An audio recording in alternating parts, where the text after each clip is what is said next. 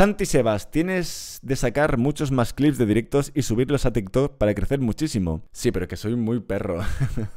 o sea, perdón, soy muy perro. Es una locura. Pero sí, debería hacerlo porque TikTok es una plataforma que realmente puede llegar a una audiencia amplia, que lo estaba explicando antes. Y con TikTok voy a explicar una anécdota. Una anécdota que realmente es curiosa. Es muy curiosa yo me negaba a hacerme un TikTok. Yo estaba subiendo los vídeos de mi romántica travesía de los Pirineos, o ya lo había acabado de subir, no lo sé, y había hecho... Bueno, no lo sé, la cuestión es que yo estaba en mi empresa donde yo trabajo y había un chaval, un chaval de sus 20 años que sabía que tenía un canal de YouTube, que tenía Instagram, eran las plataformas que usaba en ese momento, ahora claro, era Twitch, era Twitter, era TikTok, era Facebook, pero en ese momento eran esas dos plataformas las que estaba trabajando, ¿no? Y el chaval siempre me decía, tienes que hacerte un TikTok. Y yo que yo no me hago un TikTok. Y el que sí, tienes que hacerte un TikTok.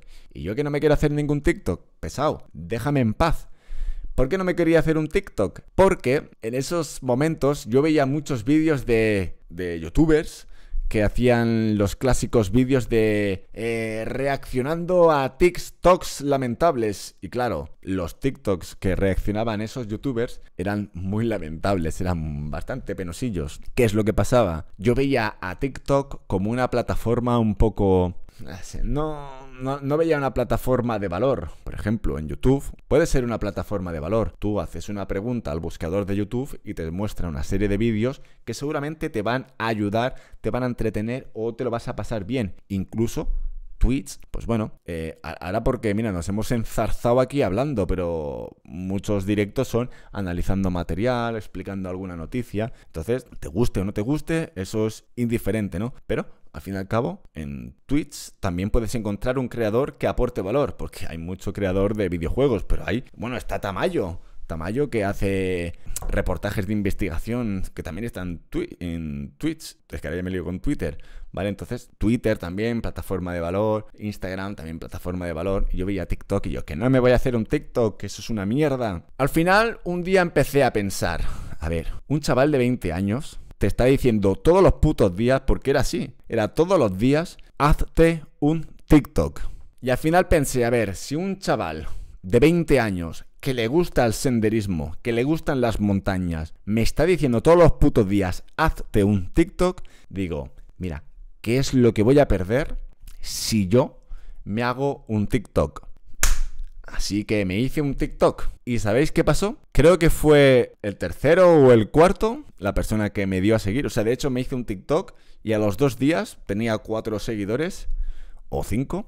Pues uno de ellos no era nada más ni nada menos que el gran aventurero Pau Calado. Así que gracias a haberme hecho un puto TikTok, conocí a Pau Calado y hoy en día tengo un gran compañero. Tengo una persona, bueno, tengo una persona, eh, hay un grupo de youtubers que trabajamos conjuntamente y nos vamos ayudando en muchos temas. Pues mira, esta miniatura me parece que es una mierda, mejor hazla así. O hostia, este vídeo que has subido no me ha gustado. O sea, somos críticos, somos críticos. O sea, por haberme hecho un puto TikTok, conocí a Pau Calado y estoy en un grupo de trabajo que realmente está funcionando muy bien. Así que a pesar de que TikTok tal vez es una plataforma que no le tengo un interés muy elevado, gracias a esa plataforma he conocido a Pau. Es cierto que Pau sí que me conocía a mí, pero yo a él no. Pero bueno, eh, posiblemente hubiera sido cuestión de tiempo que yo lo hubiese conocido. Pero a veces la vida es un poco... A veces la vida es un poco...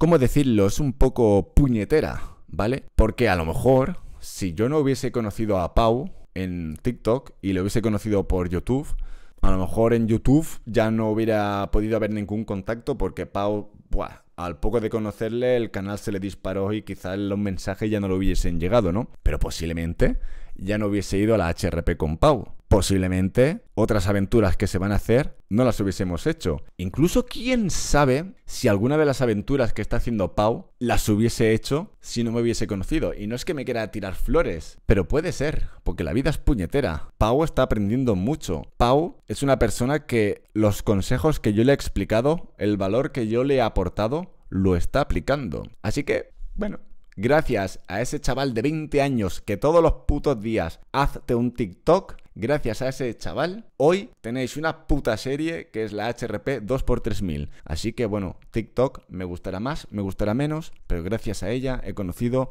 una valiosa persona y gran compañero.